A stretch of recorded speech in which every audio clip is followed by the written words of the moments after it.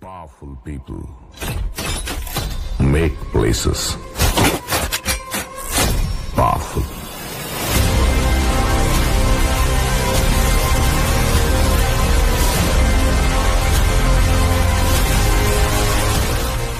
दोस्तों अमित्य एग्रीकल्चर में आपका स्वागत है अगर आप इस चैनल में नए हैं तो मेरे वीडियो को लाइक एंड सब्सक्राइब ज़रूर करें और वीडियो को अंत तक ज़रूर देखें, क्योंकि आपके लिए बहुत ही बेस्ट कंटेंट है। चलिए, आपका ज़्यादा समय न लेते हुए टॉपिक की तरफ़ बढ़ते हैं। जो पहला दिया हुआ है 2008 में अंतर्राष्ट्रीय आलू दिवस के रूप में मनाया गया। और दूसरा है 2009 में अंतर्राष्ट्रीय रेसा, यानी फाइबर वर्ष के रूप में मनाया गया। 2010 को अंतर्राष्ट्रीय जैव विविधता बायोडाइवर्सिटी वर्ष के रूप में इसे सेलिब्रेट किया गया। किसको? टू थाउज़ेंड टेन यानी 2010 को। ओके? और दो दो हज़ार ग्यारह को अंतर्राष्ट्रीय वन वर्ष, यानी फॉरेस्ट डे के रूप में इसे सेलिब्रेट किया गया। और 2012 में अंतर्राष्ट्रीय सहकारिता वर्ष, कोऑपरेटिव वर्ष के रूप में इसे मनाया गया। 2012 में फिर एक बागवानी वर्ष घोषित गवर्नमेंट ऑफ़ इंडिया द्वारा इसे सेलिब्रेट किया गया। 2015 में इसे अंतर्राष्ट्रीय मृदा दिवस के रूप में इसे मनाया गया। 2015 में इसे अंतर्राष्ट्रीय मृदा दिवस के रूप में इसे मनाया गया। 2016 को 2016 को अंतर्राष्ट्रीय दलहनी वर्ष के रूप में इसे सेलिब्रेट किया गया। चलिए हम अगले डे की तरफ़ बढ़ते हैं, जो कौन कौन से डे किस किस दिन को किस किस डेट को मनाए जाते हैं। पहला दिया गया है फिफ्टीन मार्च, यानी पंद्रह मार्च विश्व उपभोक्ता दिवस के रूप में मनाया जाता है। यानी इसे world consumer consumers rights day के रूप में इसे सेलिब्रेट किया जाता है। ठीक है? दूसरा दिया है इक्कीस मार्च, विश्व वन दिवस, यानी international day of forest, and world poetry day and international colour day के रूप में भी इसे मनाया जाता है 21 मार्च को। ठीक है? 30 मार्च को राजस्थान दिवस मनाया जाता है। 30 मार्च को क्या मनाते हैं? राजस्थान दिवस के रूप में मनाते हैं सेलिब्रेट करते हैं। पाँच जून को विश्व पर्यावरण दिवस के रूप में हम सभी लोग जानते हैं, मनाते हैं। और ग्यारह जुलाई को विश्व जनसंख्या दिवस के रूप में सेलिब्रेट करते हैं। सोलह जुलाई को आईसीआर दिवस, यानी सोलह जुलाई उन्नीस को आईसीआर की स्थापना हुई थी इस्टेब्लिश्ड इन आईसीआर और पाँच सितंबर को शिक्षक दिवस के रूप में हम मनाते हैं। और सोलह सितंबर को ओजोन दिवस के रूप में हम सेलिब्रेट करते हैं और सोलह अक्टूबर खाद्य, विश्व खाद्य दिवस के रूप में हम सेलिब्रेट करते हैं। तीन दिसंबर तीन दिसंबर को कृषि शिक्षा दिवस, आईसीआर द्वारा तीन दिसंबर 2017 को भारत के प्रथम केंद्रीय मंत्री डॉक्टर राजेंद्र प्रसाद के जन्म दिन पर, यानी जन्म दिवस पर इसे घोषित किया। किसने? आईसीआर ने तीन दिसंबर 2017 को घोषित किया। यानी इसे कब सेलिब्रेट करते कृषि शिक्षा दिवस के रूप में तीन दिसंबर को। ठीक है? और चार दिसंबर को कृषि में महिला का योगदान दिवस के रूप में इसे सेलिब्रेट करते हैं। यानी महिलाओं का कृषि में कितना योगदान है? इसे चार दिसंबर के रूप में इसे सेलिब्रेट करते हैं। पाँच दिसंबर में विश्व मृदा दिवस के रूप में इसे सेलिब्रेट करते हैं। और तेईस दिसंबर को हम सब लोग जानते हैं, क्योंकि हम सब लोग किसान किसान परिवार से ही रिलेट करते हैं तो तेईस दिसंबर को हम किसान दिवस के रूप में सेलिब्रेट करते हैं। अब हम आपको कुछ जो साइंटिस्ट हैं, यानी साइंटिस्ट हैं, उनको हम जानते हैं। जैसे हमारे पहले साइंटिस्ट है पीट्रो डी किसेंजी इन्हें हम फादर ऑफ़ एग्रोनॉमी के जन्मदाता, यानी फादर ऑफ़ एग्रोनॉमी किनको जानते हैं? पीटर डी क्रिसेंजी को।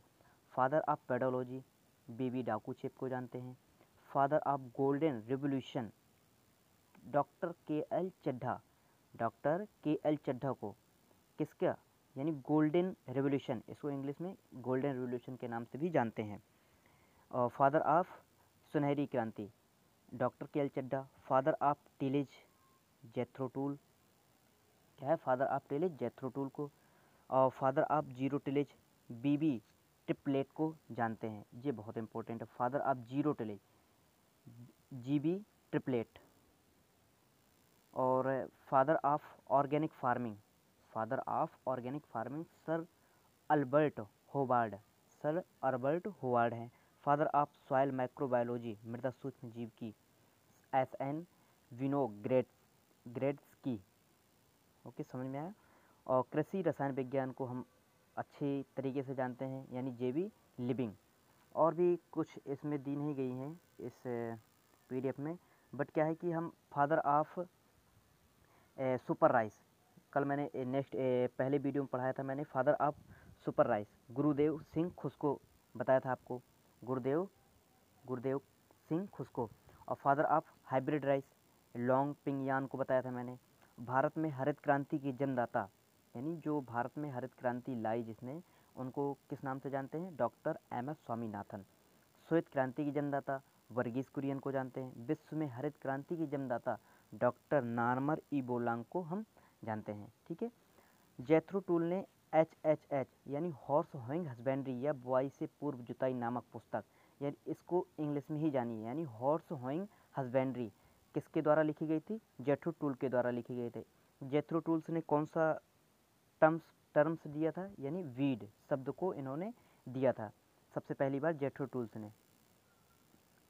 और हम कुछ मुख्य विटामिन्स हैं, उनके लक्षण, कमी के लक्षण विटामिन्स उनके और साइंटिफिक नेम उनका क्या होता है। जैसे पहला दिया गया है विटामिन ए तो इस, इसको हम रेटिनाल के नाम से भी जानते हैं। इसकी कमी से रतौंधी नामक जीरोथैल्मिया नामक रोग हो जाता है।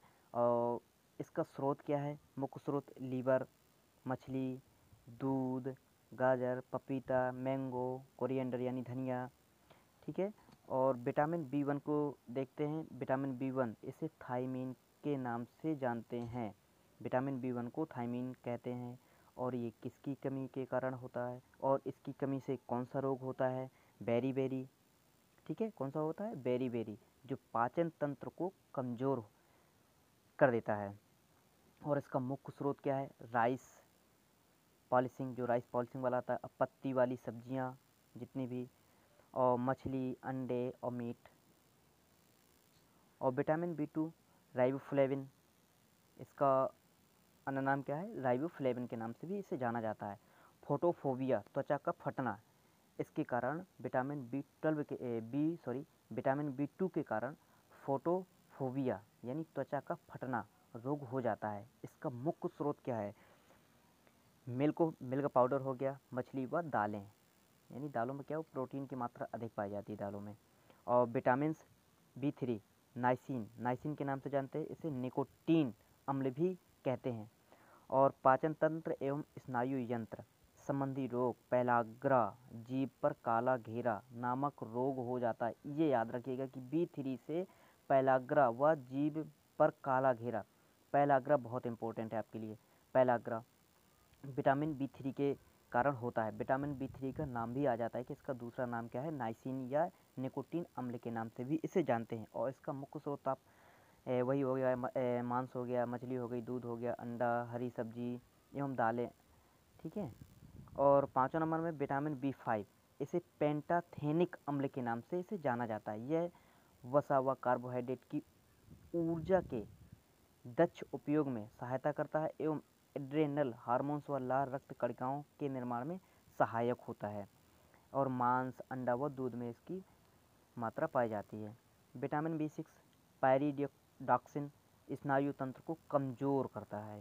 यह ईस्ट भीट जर्म एवं दालें में पाई जाती हैं। ये भीट जर्म लिखा है तो जो जैसे भीट है गेहूँ है उसको जर, जर्मिनेट करके खाने पर ये vitamin C sorry vitamin B six की जो कमी होती है, वो पूर्ति हो जाती है। ठीक है? अब विटामिन बी ट्वेल्व इसे कोबेला माइन भी कहते हैं। इसको बहुत याद रखिएगा। ये पूछा जाता है अक्सर। विटामिन बी ट्वेल्व इसकी कमी कारण एनीमिया रक्त की कमी होना। इससे एनीमिया व रक्त की कमी कारण हो जाता है। और यह लीवर, मीट, मछली व अंडा में पाया जाता है। विटामिन सी स्कॉर्बिक अम्ल के नाम से जाना जाता है। इससे स्कर्बी हो जाता है दांतों में। ये आंवला, अमरूद, आम व नींबू वर्गीय फ़सलों इसके लिए उपयोगी हैं। और आठवां है रिकेटस, यानी इसे रिकेटस के नाम से भी जाना जाता है। और ये विटामिन डी विटामिन यानी इसे विटामिन डी को किस नाम से नाम से जानते हैं? कैल्सीफेरॉल। इस, इसकी कमी के कारण रिकेटस, हड्डियों, टेढ़ी मेढ़ी होना, पेजन चेस्ट, बच्चों में ऑस्ट्रिया, ऑस्टीमोलेसिया, वयस्कों में वयस्कों में क्या हो जाता है? ऑस्टी जो मे, मेलेसिया हो जाता है वयस्कों में। और ये इसका मुख्य स्रोत क्या है? सूर्य की धूप, यानी सुबह की जो सूर्य की किरणें निकलती हैं, वो इसका बहुत ही अच्छा स्रोत है। विटामिन ई विटामिन ई की कमी कारण, विटामिन ई को हम टोकोफेराल के नाम से भी जानते हैं। किससे? टोकोफेराल के नाम से जानते हैं। इसकी कमी कारण स्ट्राइल नामक रोग हो जाता है। बांझपन उत्पन्न हो जाता है, जिसके कारण बच्चे पैदा नहीं हो पाते। बच्चा पैदा करने में असमर्थ हो जाते हैं। ये क्या होता है? गेहूँ के दानों में, गेहूँ के दानों, गेहूँ के दानों को खाने से क्या होता है? स्ट्राइल, यानी बांझपन रोग दूर होता है। विटामिन ई e की कमी दूर होती है। और विटामिन एच यानी इस विटामिन एच को बायोटीन के नाम से जानते हैं। ये त्वचा संबंधी बीमारियों हो जाती हैं इससे। और इसका मुख्य स्रोत तो इसमें कुछ दिया ही नहीं गया है। और विटामिन के फाइलोक्यूनान इससे विटामिन के को फाइलोक्यूनान के नाम से जानते हैं। रक्त का थक्का देरी से बनता है। रक्त का थक्का क्या होता है? देरी से बनता है। फूल गोभी लीवर, सोयाबीन में इसके मतलब इसका स्रोत है। और फॉलिक एसिड फॉलिक एसिड है। तो ये इसकी कमी कारण एनीमिया रक्त की कमी होना, पालक, करौंदा व हरी पत्ती सब्ज़ियाँ हैं। और चलिए कुछ हम कृषि से संबंधित प्रमुख क्रांति के, क्रांतियों के बारे में देखते हैं, जो आपके लिए बहुत ही महत्वपूर्ण है। हर एक एग्ज़ाम में, चाहे U U P P P S C का हो या अन्य कोई भी एग्ज़ाम हो, हर जगह इसका बहुत ही महत्व है क्रांतियों का। चलिए देखते हैं। पहला है रेवोल्यूशन। और श्वेत क्रांति, यानी वाइट रिवोल्यूशन वाइट रिवोल्यूशन मैंने कल भी नेक्स्ट नेक्स्ट वीडियो में पढ़ाया था आपको तो दुग्ध उत्पादन से संबंधित है और ब्लू रिवोल्यूशन यानी नीली क्रांति मछली उत्पादन से संबंधित है। क्या है? मछली उत्पादन से संबंधित है। और ब्राउन रिवोल्यूशन खाद्य प्रसंस्करण, यानी फ़ूड प्रोसेसिंग से संबंधित है। और बादामी क्रांति, मसाला उत्पादन से संबंधित है। प्रोटीन क्रांति ये भी सुनिए, प्रोटीन क्रांति दलहन उत्पादन से संबंधित है और धूसर क्रांति ग्रे रिवोल्यूशन उर्वरक उत्पादन से संबंधित है। गुलाबी क्रांति पिंक रिवोल्यूशन झींगा व प्याज के उत्पादन से संबंधित है। सुनहरी क्रांति गोल्डन रिवोल्यूशन फल उत्पादन एवं शरद उत्पादन से संबंधित है। गोल्डन रिवोल्यूशन जो होता है वो फल उत्पादन एवं शहद उत्पादन से संबंधित है। राउंड रिवोल्यूशन यानी गोल क्रांति आलू के उत्पादन से संबंधित है। रेड रिवोल्यूशन टमाटर व मांस उत्पादन से संबंधित है।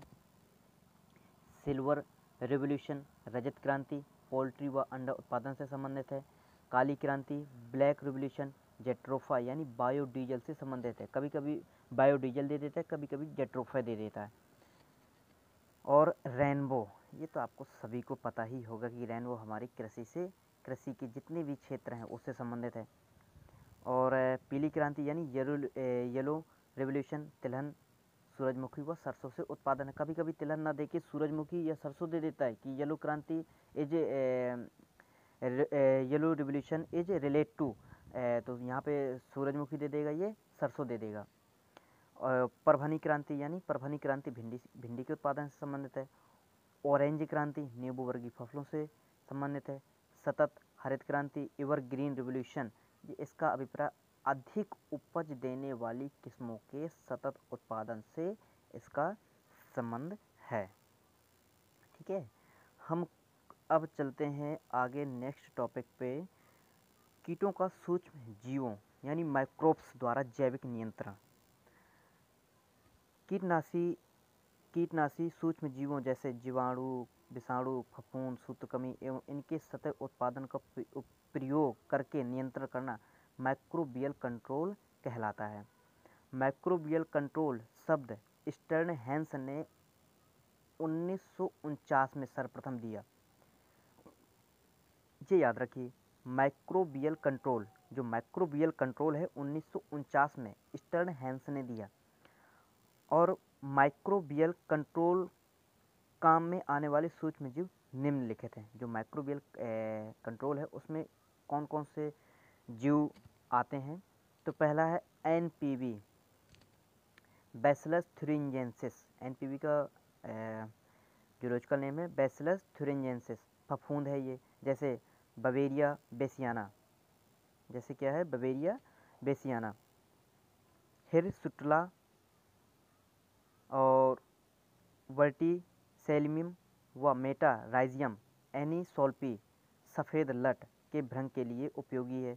और ईपीएन ऐसे सूत्रकृमि जो कीटों में व्याधि पैदा करते हैं, करके मारने का काम करते हैं, वे निमेटोड, एनोमा पैथोजिनेड पैथोजिनिक नेमोटोड ईपीएन कहलाते हैं।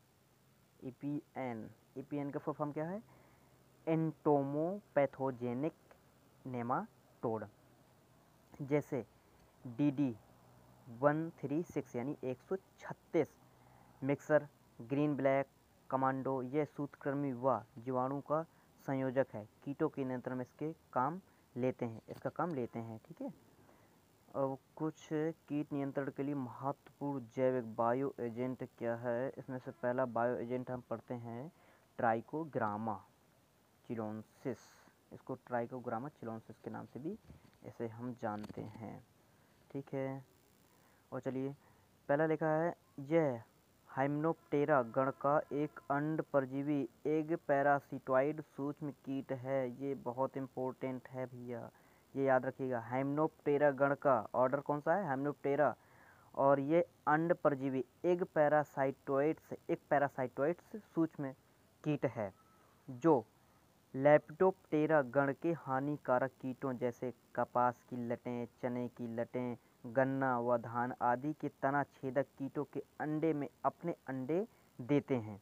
इसलिए इसे अंड पर परजीवाब्ध यानी एग पैरासोटॉइड के नाम से जानते हैं। ये बहुत याद रखिएगा, चीज़ें अच्छी हैं। और इसकी विभिन्न प्रजाति है जो अलग अलग फ़सलों के कीटों में प्रभावी हैं। जैसे गन्ना एवं कपास के कीटों के लिए ट्राइकोग्रामा चिलोनसिस, यहाँ पे किलोनसिस लिखा, यहाँ पे चिलोनसिस है। वक धान के तना छेदक के लिए ट्राइकोग्रा ट्राइकोग्रामा जैपोनिकम। यानी ये लिखा, धान के तना छेदक के लिए ट्राइकोग्रामा जैपोनिकम। और यहाँ पे लिखा, गन्ना एवं कपास के कीटों के लिए ट्राइकोग्रामा चिलोनसिस नामक, ट्राइकोग्रामा चिलोनसिस नामक जैविक कारक बायो एजेंट उपलब्ध है। ये याद रखिएगा। ठीक है? नेक्स्ट टॉपिक पे अभी लिखा है इसमें ट्राइकोग्रामा के कार्ड पर लगभग सोलह हज़ार से लेके बीस हज़ार पोसी कीटों के अंडे पर उतनी ही संख्या में परजीवी कीट उत्पन्न होते हैं। धान का स्लब कीट, कोरसायरा, सेफोलिनिका एक पोसी कीट है तथा इसके अंडों पर इस परजीवी कीट को पाला जाता है। एक हेक्टेयर में सौ स्थानों पर ट्राइको ट्राइकोकार्ड की स्ट्रिप लगाना चाहिए। और ट्राइकोकार्ड ट्राइकोकार्ड पोसी कीट के अंडों पर ट्राइकोग्रामा परजीवी कीट के 16 से लेके सोलह हज़ार से लेके बीस हज़ार अंडों को एक card, fifteen into seven point five centimetre size में रखकर रखा जाता है, जिसे ट्राइको कार्ड कहते हैं। थैंक यू, धन्यवाद। अगर ये वीडियो आपको पसंद आई हो, अगर अच्छी लगी हो तो लाइक एंड सब्सक्राइब ज़रूर करें। धन्यवाद।